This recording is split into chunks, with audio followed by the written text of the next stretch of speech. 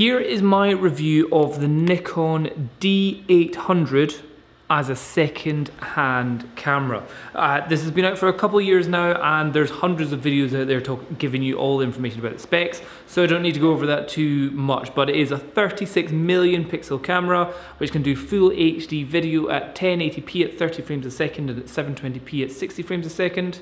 It can take full 36 megapixel photos at 4 frames a second and you can also crop it down to DX mode where in photos you can push it up to 5 frames a second and also in video you can do a DX crop mode as well where you get all the same video settings as well but in a DX crop center. So that's, that's a good bit.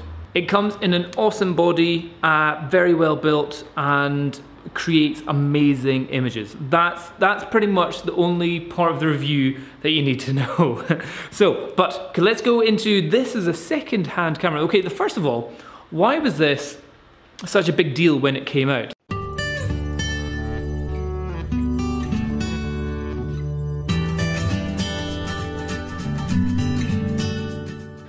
Such a big deal when it came out. This came out because, well, when it first came out, it was £2,400, or in America, around about $3,000 for the camera body on its own. So quite a lot there. So everyone's like, okay, this is, this is pretty expensive. What's the big deal about it?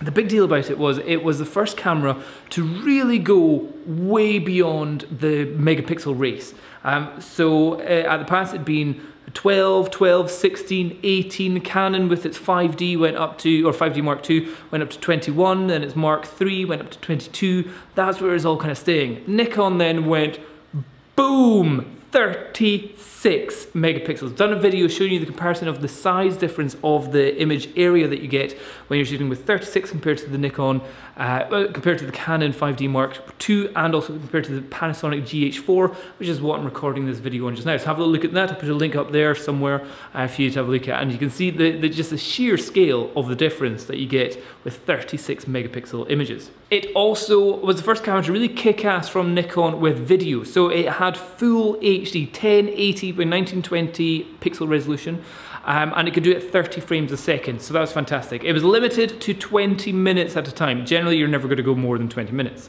Um, it could also do it 720p, uh, which is still full, which is still HD video, but it could do it 60 frames a second. So everyone's like, oh yes, finally I can do a little bit of slow-mo with this uh, camera. It also had the ability that you could do in DX crop mode. So it'd taken the center area. So I meant also if you had any DX lenses which uh, didn't cover the full sensor area, you could still do full HD video with this camera as well. It's just cropped into the central area. Um, so it's covering the DX sensor part uh, the, the crop sensor area, not the full frame sensor area. It also wasn't limited in any of its photographic functions. Uh, there's been quite a few complaints from users of Nikon gear about how some cameras are being uh, disabled in some sort of way. This one, uh, for example, the shutter speed on this one can go up to 1 8 thousandth of a second, which is a fantastic thing to have. The ISO of this one can go down to ISO 100, so you have the ability to shoot in super bright locations with a very shallow depth of field. Very handy. Um, it also its shutter speed that can do with a flash as well was the full 250th of a second. You can also do auto FP, auto focal plane, where it means you can go faster than 250th, you can go up to 320th of a second. And with the Nikon speed lights and other high speed sync flashes, you can actually go up to the 1 8000th of a second uh, shutter speed with flash with this. Everyone's like, oh, that's great. It also totally rock the world in, in terms of its dynamic range. At ISO 100, this camera has 14 stops of dynamic range. Everyone's like, holy shit, that's brilliant. And again, I've done a couple of videos where I've been talking about just like, holy crap, you get so much ability to edit these photos and also it has a, a fantastic uh, tonal gradation in the images as well. So if you've got bright sunshine to dark blue, the smoothness of how it goes, you just don't get any banding or anything like that. It's fantastic. The image, One million times you cannot complain about the images that you get with this camera. What you can do is you can complain about how it really shows up how crap a photographer you are, uh, how bad your how bad your skills are, but also um, how duff your lenses are as well. So when you're shooting with 36 megapixels, which is near medium format type resolution, um, then you need to have a fantastic photographic procedure, so there's no shake, there's no vibration, focus is spot on, and you're using lenses which are sharp, uh, proper sharp, not, not kind of like, oh, I think that's okay. The difference between a 12 and a 36 megapixel image that you get is it really shows up any faults that you have in your lens or in your shooting ability. So uh, with a Nikon D700, you could easily run around, smash, smash, smash, take some photos. This one, a lot more holding close to the body, breathing, gently pressing the shutter. No, no, just a run and gun with this one, that's for sure. Also got a thing there and a thing there. It also has twin SD cards, uh, not SD cards, uh, twin memory card slots. It's got an SD card slot and a compact flash card slot, which is handy for some reason. I don't know why they didn't keep them both the same, both SDs or both compact flash, uh, or push it to the next level, which was QXD, which nobody seems to have taken a hold of.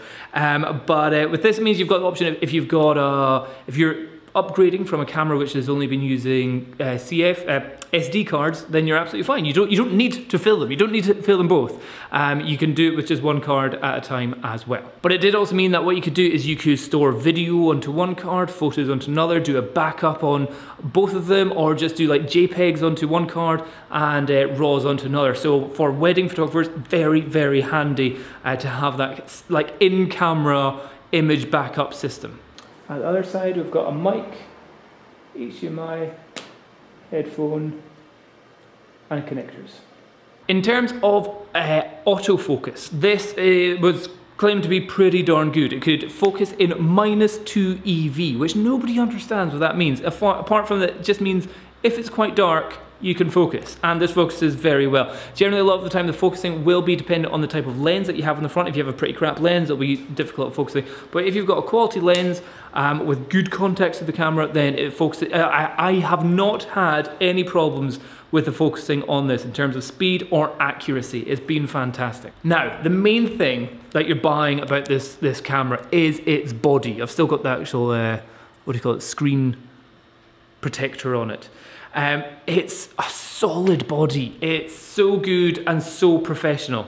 Um, it's got its little buttons up at the top, your ISO, your bracketing, your quality, your white balance, and a simple press down of a little thing here and you can change it from uh, single to continuous low, continuous high. There's not really much of a difference there. Uh, Q for quiet mode, totally rubbish, doesn't really make anything quieter whatsoever. Uh, you've got a timer, and a mirror up setting as well. So that's if you're wanting to clean the sensor.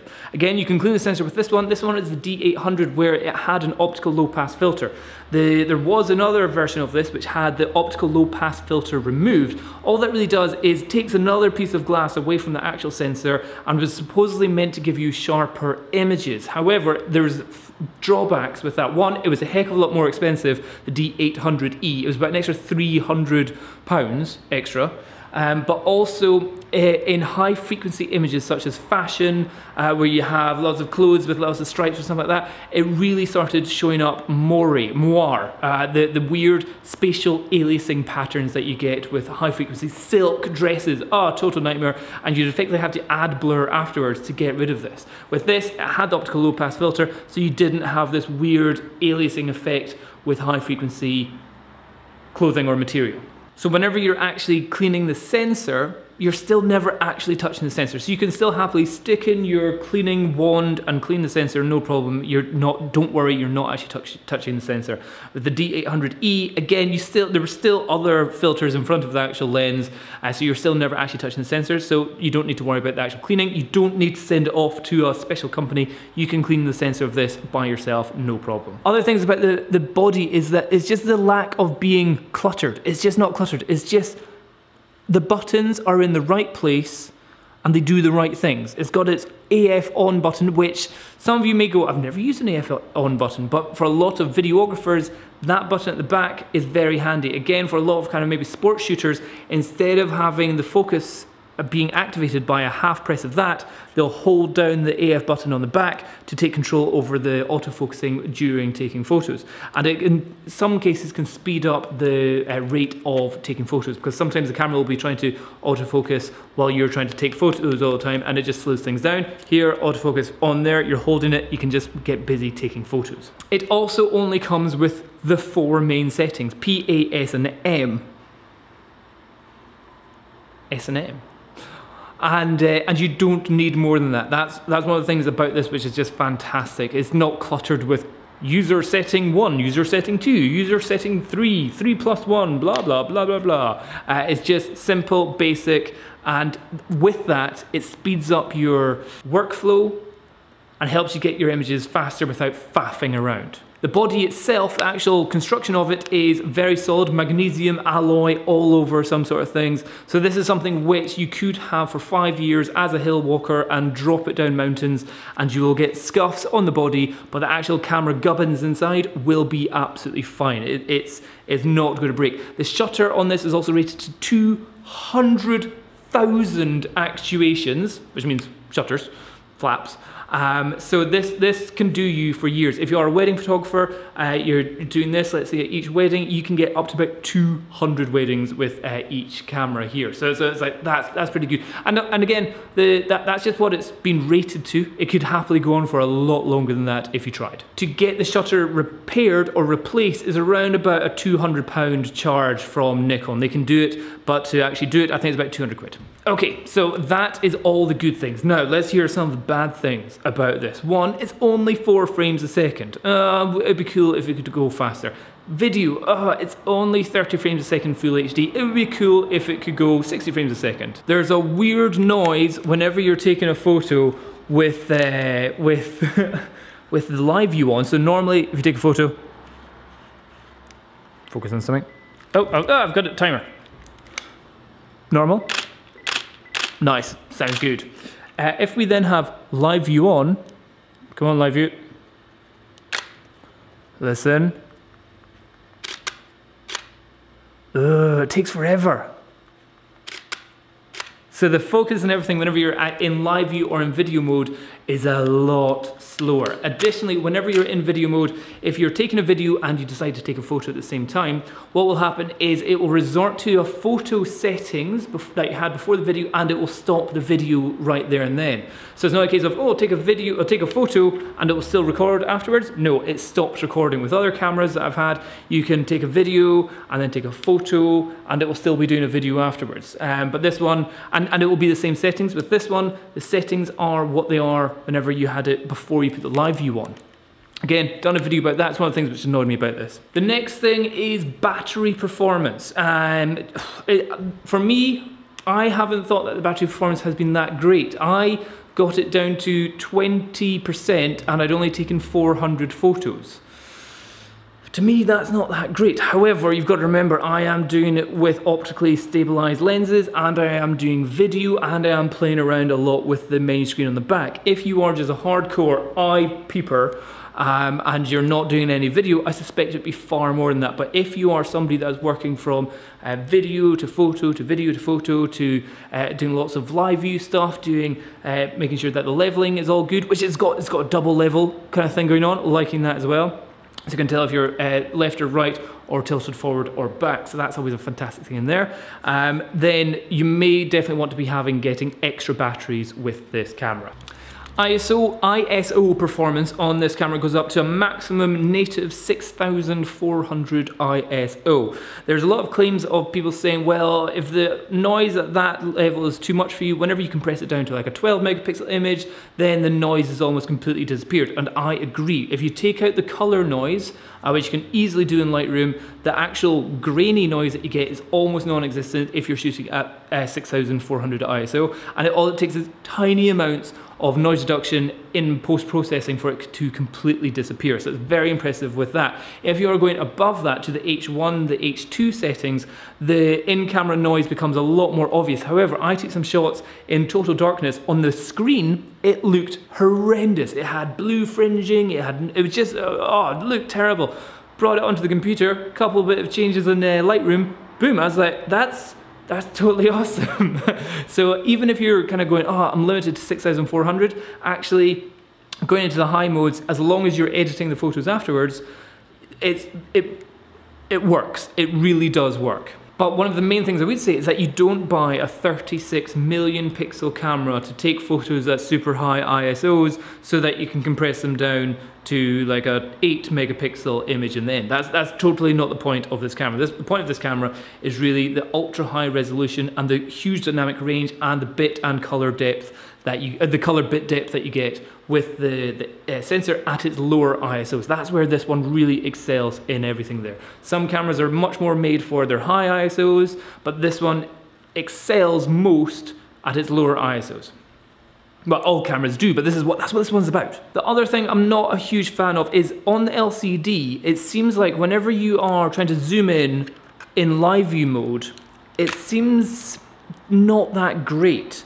Uh, I don't know if I can, I probably most definitely can, but it seems like it's taking a low resolution video file to pump out to the LCD screen at the back and it just looks a bit pumped. So a lot of times I've taken photos as well and I've zoomed into them afterwards and gone, oh, that looks a bit like pretty rubbish. That doesn't look very sharp, that doesn't look anything. Then I bring it onto the computer, I'm like, holy crap, these are amazing. Uh, so I think um, in the actual in-camera viewing of images, should really just be like, I'll just have a quick look to check that it's in the right place and all that kind of stuff. Um, it doesn't show off as well. Obviously, it doesn't. That's a 3.2 inch screen and you want to be watching it on a 27 inch Mac. That's what you want to be doing. Uh, but what you would say is that you may be disappointed whenever you look at the images on the back of your camera and you zoom in, you kind of go, oh, that's, that looks really pixelated. And I think it's taken a smaller file, resolution file, to show on the back of this. Additionally, there isn't, uh, like for the working professional who just needs to get some shots, there isn't a, a, small RAW. You can only get the 36 megapixels, unless of course you put it into DX mode and then it crops it down to about a 15 megapixel image RAW file, which is fantastic. But if you're wanting like the full frame and you're wanting a smaller RAW, you don't get it. So the minimum is around about a 30 megabyte file from each photo that you get from this. An 8 gigabyte card on this, whenever you're shooting in its highest settings, will only get you around about 90 photos compared to if you're shooting in uh, like a, in the DX mode and a lower like a, a 12 bit instead of 14 bit and a compressed instead of uncompressed you can get up to around about 400 photos. So a big difference in the number of images you can get um, from the full frame highest quality to the DX crop lowest quality. Obvious obviously. So in the end I was trying to think who is this camera for? It requires skill it requires investment because it's an expensive camera, um, and uh, and editing as well also needs an investment because you're going to be using massive photos and all that kind of stuff. So who is this camera for? So if you think about the types of photography in a in a scale, they're not blocks, they're in a scale. So at one end you've got photojournalism. They just want to take lots of photos fast and quick and accurate. That's it, photojournalism. And at the other end you've got, let's say, modeling, fashion, beauty photography there. Well, that's where this one comes in. This one is much more over this area. So what else is in this area? So if you are a product photographer, if you're a stock photographer, if you are a fashion, beauty, portrait, head and shoulders, did I say fashion already? Photographer, over that side, this is what you would definitely want to be using for those types of photos. High resolution and amazing images. As you pan across and you've got the kind of wedding photographers here. Again, wedding photographers sometimes need to run and gun and just get the shots. Sometimes at the same time they're going, we just want the most amount of dynamic range and loads of image image real estate for us to be able to crop in and edit and all that kind of stuff. So wedding photographers, again, this one is kind of, kind of there. So in the scale, this one fits in there as well. So if you're a wedding photographer, this, but it will slow down your workflow, especially afterwards with all editing of the photos and it will require that when you're actually shooting on the wedding to be far more concise and more methodical with how you take your shots. And the last group that I would say that this is actually the perfect camera for is amateurs. People who have got time to go hill walking, to go mountaineering, to like meet models and take shots and all that kind of stuff. Um, we have time to sit down and edit and all that kind of stuff. This camera is a fantastic camera because what happens is if you're an amateur, this affords you so much ability to uh, to edit, to crop, to cut, to compose your images afterwards. Um, with this dynamic range that you've got, you you oh, it's just so good. So if you are not a full-time working pro, the Nikon D800 offers you so much learning potential that it really is, has to be what I would consider to be one of the best cameras for anybody who is really upgrading in their photography. If you're a full-time working pro, you probably already have your camera gear and you're just doing minor upgrades from like a Nikon D800 to D810. That's the kind of stuff you're doing. If you are uh, a journalistic wedding photographer and you're probably shooting with the D700, I probably wouldn't advise going for this because you're probably used to how the Nikon D700 works and you're not going to see the huge amount of benefits you get with this unless you're needing to do lots of video or for some reason you're suddenly going, oh, I need ISO 10, 12,000 kind of stuff. Uh, but if you are coming up from like a Nikon D7100, uh, then this is such a monumental jump up, but such a professional jump up that if you buy this, you're not going to be kind of going two weeks later going, oh, I've run out of ideas. this gives you so much opportunity to really advance your photography. So much. And as a second-hand camera, what I would say is this camera, when it came out, £2,400. The body itself is worthy of £900 the sensor itself, I would say, is around about a 900. Like, if it was a case of you got the same camera but you got to put in a different sensor, I would happily pay 900 pounds just to have the, this sensor put into whatever camera body that I've got. If I had a, a, certain sensor which I loved and I could get this camera body, I'd be up for paying 900 pounds. You've then got other things like autofocus and the, the extra memory cards and all that kind of stuff, um, which add on to the extra price. So I would say, yeah, at the price when it came out, it was 2,400. I would say this is still a quality camera for 1,800 pounds. If you can find this in 2015 for 1,500, 1,400, absolute steal, absolute 100% fully recommend this, putting this on my website saying if you're into photography, get this camera. And uh, I previously had the Nikon D750, I also had the D700 before that, and I find this camera a million times better, far less gimmicky, and far better in every way uh, possible. Uh, lots of love for this camera, and the only things I can say that can make it better are just things, or the only downsides I can say about it are things which I think could just make it a bit better. So faster frames a second, more frames a second in video, stuff like that. But otherwise, if you are really wanting to advance your photography, the Nikon D800 is what I would recommend to absolutely everyone if they can get it for around about £1,500 and they've got that money happily sitting around and you've got quality lenses as well already, just, just win, win, win, win, win, win, win, win. That's what I think. So that is my full mega review of the Nikon D800. Uh, I'm now putting it up for sale. Um, I've got a couple extra bat batteries with it. Don't ask me if you're wanting to buy this, I've already sold it probably. Um, but uh, this is certainly a camera which if I wasn't already a working pro and already had my own camera gear, this would be the camera that I would definitely be going and buying. In fact, if my Canon stuff does die, I may just go buy this secondhand. Uh, but at the moment, this is just something which I've bought for reviewing. Um, uh, but is something which I would think if I needed an awesome camera for going traveling or something, this one wins, this one wins. Anyway, that's me done, that's me done. No more, no more. Okay, cheers, bye-bye.